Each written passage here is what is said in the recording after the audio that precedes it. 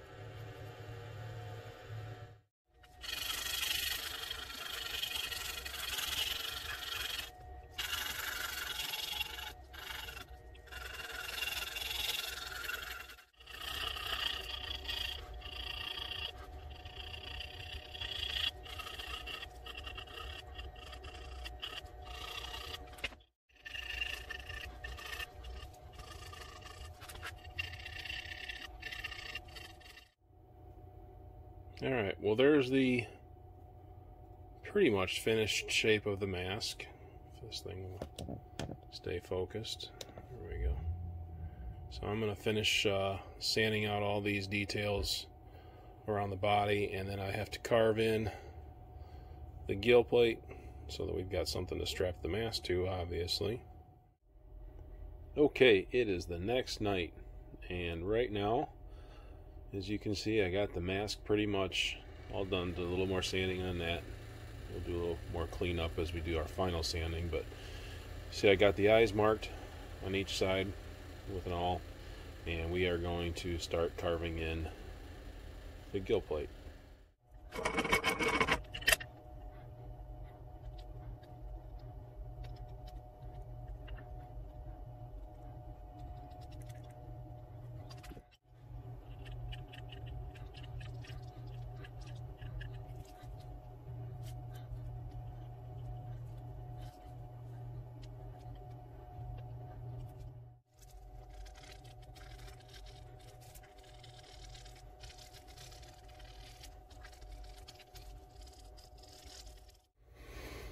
All right, lots of sanding.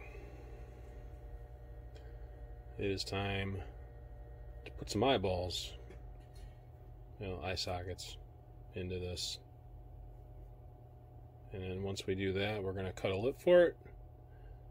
We will drill our hole for our lead, seal it up, and uh, I think we're going to make a mold out of this one. Okay,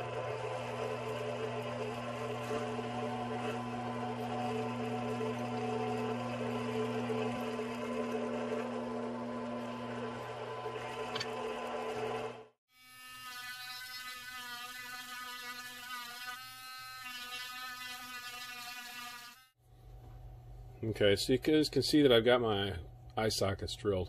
What I like to do, especially when I'm making a mold, is I will do what I did with the uh, with the little mini Dremel and clean all the the burrs out.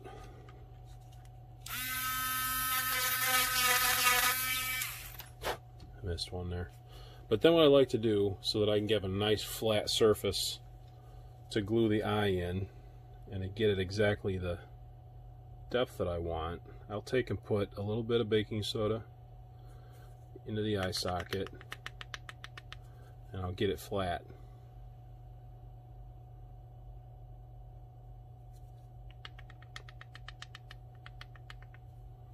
You can see how that makes that nice and flat. And then I just put a drop super glue in there. Maybe two. And that seals that up.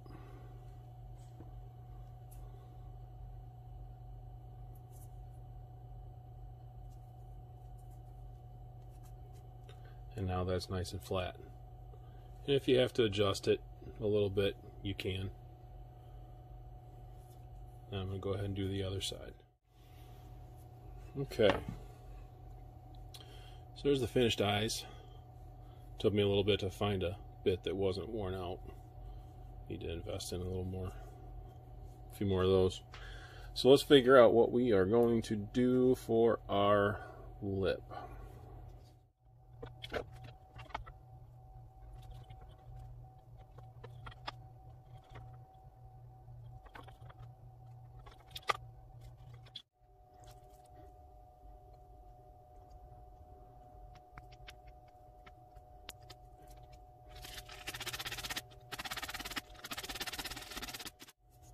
Okay, there's our finished lip, at least so far.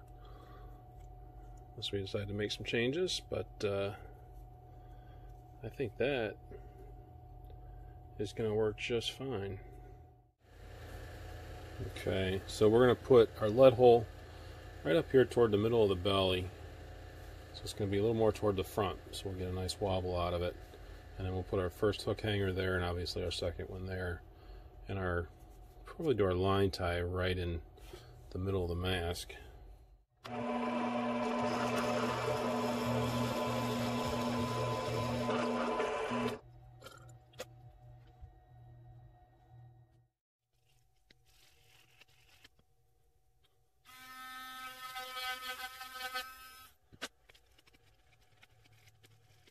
I think we are going to do a little more sanding. There's a couple little spots that I see that I'd like to take care of. Um, but I put a dent in the side of the gill with the uh, vise, so I got to sand that out. Um, but we're going to sand this out. We're going to get it sealed, and we will get this ready for the mold. I'm not going to show you guys the whole molding process. There's plenty of videos out there that show that. If you want to see how I do it, you can see my gray squirrel build. Um, I've got the full process of the mold in there. But um, looks like I'll be back after we get the mold done. So you go ahead and take a break. It'll be about 10 seconds for you. It's probably going to be a few days for me. So we'll be back on this.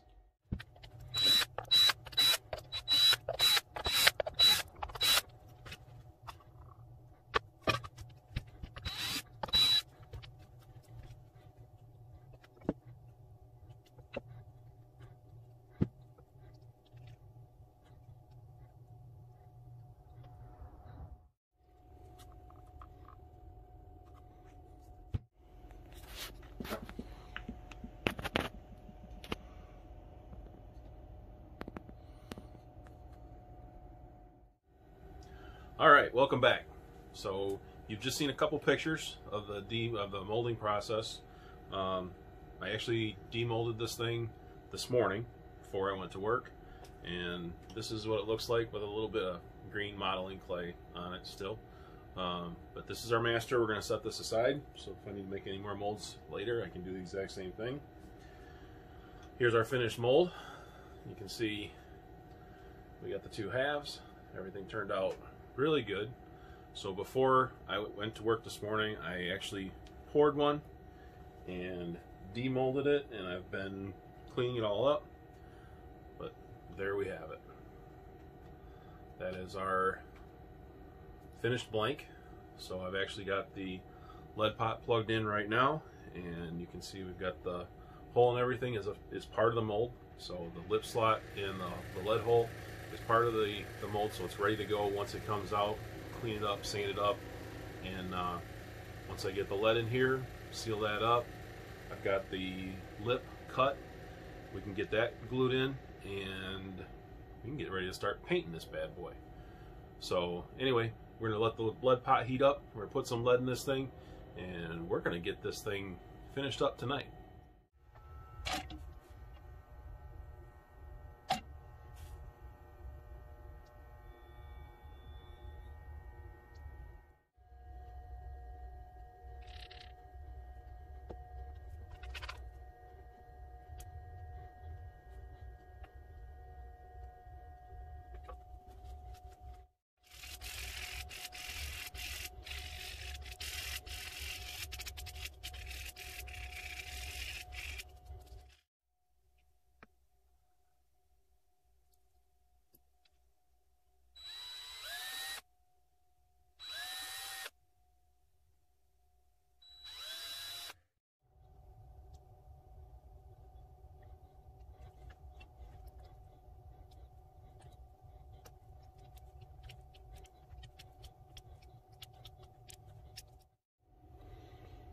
All right, there we have it. Hardware's in. Everything's lighted up. Lip is in. Time to uh, mask this off. Start putting some color on this baby. Yeah.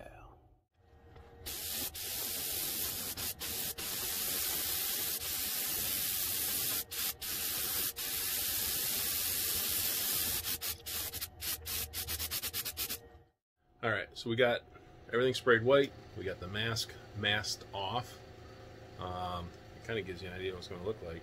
It's not going to be quite that dark blue, but I haven't really given this too much thought about what paint we're going to do. So we're just going to do something classic. We'll just do a, a baby bluegill. Um, that'll give us a nice black spot on the back of the blue of the of the uh, gill plate. That we can run the strings for the mask around and be nice and quick. Let's hit it.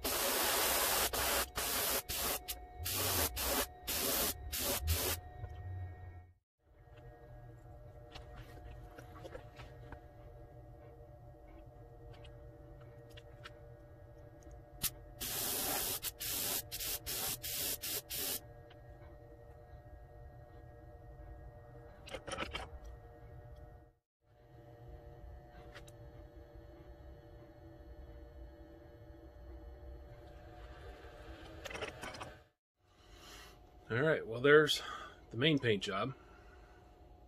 Came out pretty good. Simple pattern, nothing fancy. But now we're gonna peel this uh, tape off the mask, see how much of the base coat we are gonna tear off with the tape. I'm sure some of it will come off.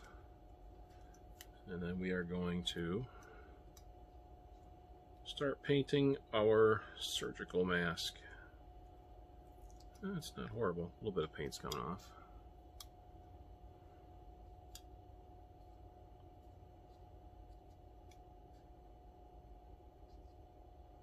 I really like this thing.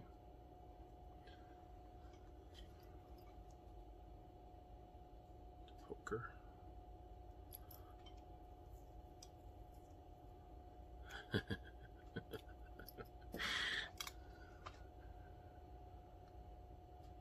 looks cool. Actually looks like some of the white masks that people are wearing. But uh, yeah, we're definitely gonna, I think, go with the blue. Let's finish this thing up.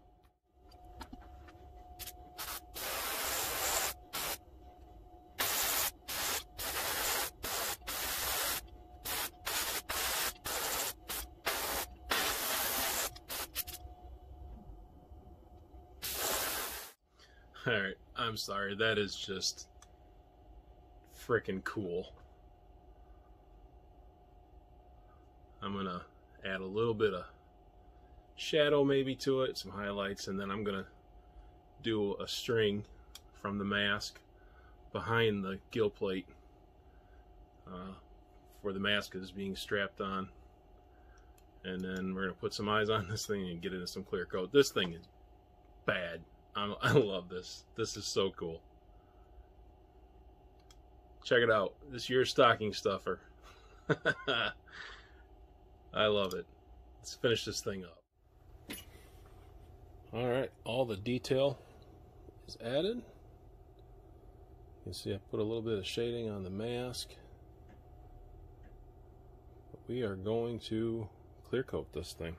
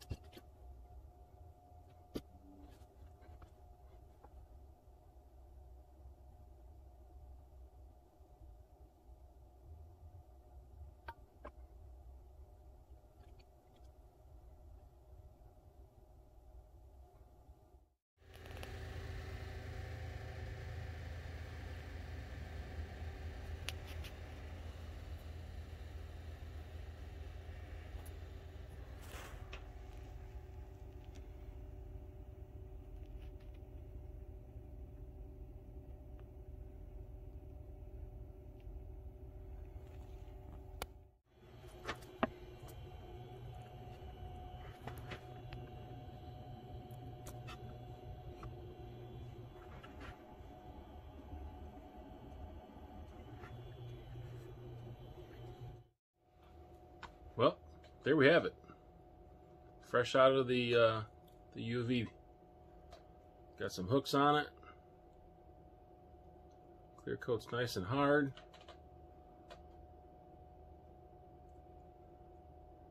I like it. So tomorrow, or sometime this weekend, we will get this thing out and get it in the water. See what it does. Uh, I'm fairly confident it's going to do pretty good, but uh, like I said, this is not just a not just a pretty face. This should be a very functional lure, and I think uh, I don't know how much we'll catch this time of year when it's this cold out, but we're going to give it a shot. So, guys, hang hang out, and uh, we will get out on the water. We'll water test this thing, see if we can't get anything, and then we will head back to the bait shop to wrap up the video. But we'll see you on the lake. All right, hey everybody. So we are out here at the area club. Out here with my son DJ. Say hi, DJ. Hey. Uh, he's tested out one of his new lures that he just made. He's got a lipless crank. So, anyway, we're gonna try this out. Spin this around and not film my hand. we go. There's the Masked Bandit. So we're in this little pond that we've done pretty well with. Um, we're gonna give this a shot, see what kind of action we got, and hopefully catch a little something, but if not, we'll at least get a good action shot. Let's see what we got. One more cast. Try this lake behind us. Real quick. We'll try some other spots. I'll roll the film uh, while we're trying them, but we happen to catch something. Definitely show you guys. It, uh,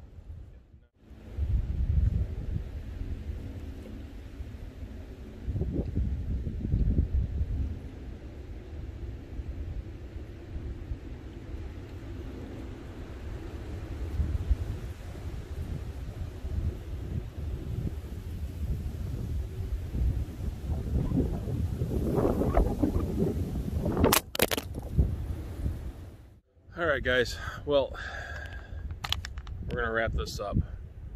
There's our last picture on the water with our masked bandit, but uh, it's freezing. It's absolutely freezing. This wind is brutal. I mean, I know it looks nice and sunny out here, but it's cold. I can't feel my fingers anymore. So we're gonna pack it up. Uh, I'll see you guys back at the bait shop. I'm gonna go defrost. See you in a bit. All right, welcome back to the bait shop. We finished defrosting. It was cold out there today. Sun was shining, beautiful looking day. Wind was blowing like crazy. It's 42 degrees, I think the air temperature was, but it felt like 20.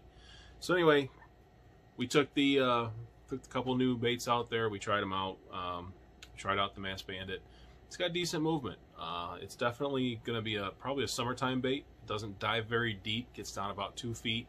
Um, like I said, we could probably change the lip angle on that and get it to go a little deeper. But to be totally honest with you, this would be a really nice surface wake bait. You know, if you let it rise up to the surface and then just kind of reel it nice and slow, it's got a real nice back and forth action. So it works really good as a, as a surface bait. Um, obviously, I'm not going to catch anything on that right now, but I'm happy with it. And to be totally honest with you, you know, this is uh, this was just a fun bait. Um, I'm gonna be offering these up uh, to in a select number to some people. Um, I already got quite a few orders for it, but uh, a lot of people are wanting to use these as Christmas ornaments, so I, I get that too. So anyway, um, I'm gonna keep working on these. Uh, just wanted to show you guys one last time that really just cool looking bait. Sums up 2020 perfectly. Um, but it was fun. It was fun building it. I'm glad you guys tagged along with me. Wish I could have caught a little something on it, but just, uh, you know, the, the weather gods weren't having it. So anyway, I appreciate you guys. Uh, make sure you like this video if you enjoyed the content. And uh, if you haven't already, please subscribe to my channel. I, I sincerely appreciate it. Check me out on Instagram and uh, give me a follow there for all kinds of different stuff that we're going to have going on with this weather turning the way it is, we're going to be spending quite a bit of time out here in the bait shop. So keep your eyes peeled. We're going to have some really cool stuff. I got quite a few ideas churning up in here, um, but we're going to be kicking out some cool stuff over the winter. So anyway, thanks a lot for following along. I appreciate it. We'll see you next time. Papa Red out.